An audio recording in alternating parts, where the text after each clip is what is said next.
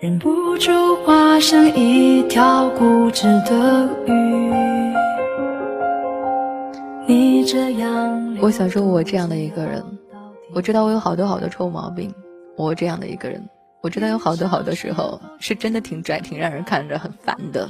可是我想说，好，我感谢。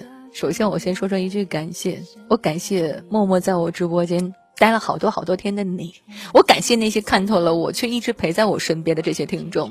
似乎在这个浮躁的社会当中，有的时候我们宁可装傻，我们宁可不作声，我们也不想自作聪明，对吗？想想，当这首歌响起的时候，我不知道这样的一句话可不可以走到你的心中。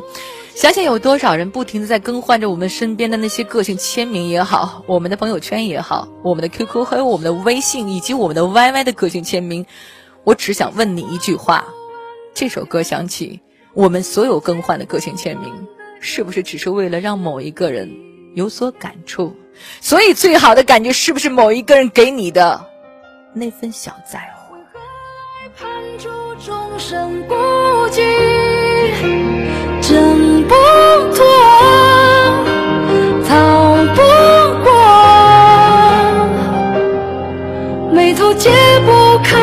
结，命中解不开的结是你。而我想说，好，有的时候你有这样的一种感觉吗？也许在自己心中，最疼的，其实并不是我们失去了什么，而是有很多时候我会不会害怕，我得到以后，我反而更加的不快乐。所以有的时候想象一下，人生有的时候总是很累很累，而我们现在不累的话，我们会不会以后更累？也许时间对我们每一个人而言都是单行道，过去了就回不来了。所以我从来不把名利看得太重，给我的自然会来到我身边。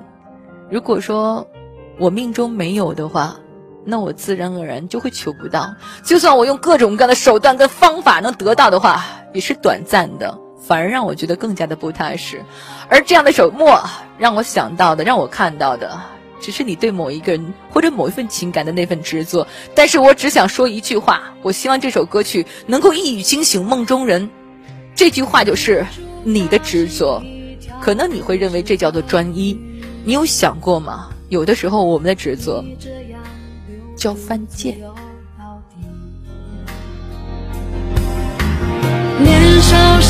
时候虔诚发过的誓，沉默的沉没在深海里，周而复始，结局还是兄弟们，给我扣出那个抱抱的小情，就是那个最温暖的爸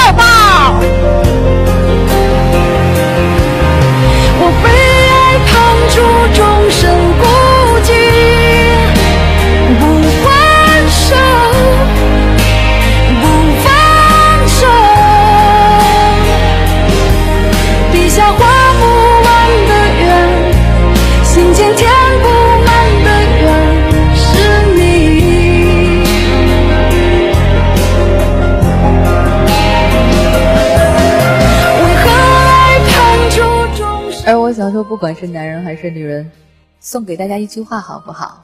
也送给我们的浩同学：要么行走在路上，要么你去阅读别人的行走。无论怎样，我们用自己的方式方法去长长见识。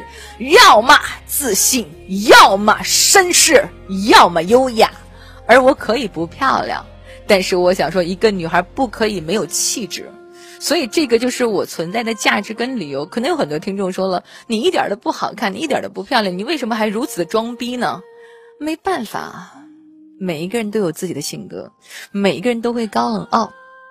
那我想说，我的高冷傲是你们给我的在乎，也就意味着我今天所有呈现出来的一切，不就是你们纵容我的吗？否则我怎么可以有立足之地呀？感谢麦上的，感谢贵宾席的，感谢贡献榜的，感谢直播间每一个打字刷花的，就是因为你们对我的支持，才纵容着我的今天，否则我算个球呀！